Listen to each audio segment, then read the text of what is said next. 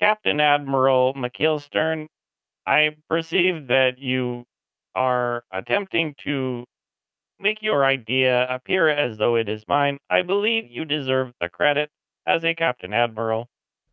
You, you know that McKeelstern is not Tanner's character, right? I was doing a bit. Of course, I know that I am referring to uh, Captain Admiral Whaleback Willie. Not an admiral captain, but an admirable captain. Yes.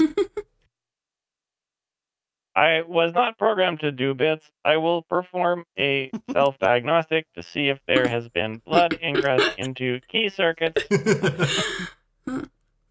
Um, so I say, ER, I, if this Excellent robot. TV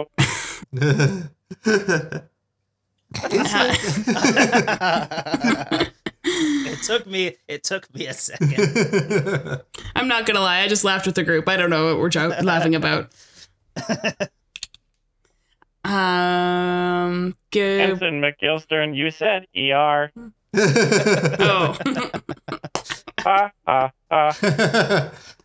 there might be some blood in there. stupid.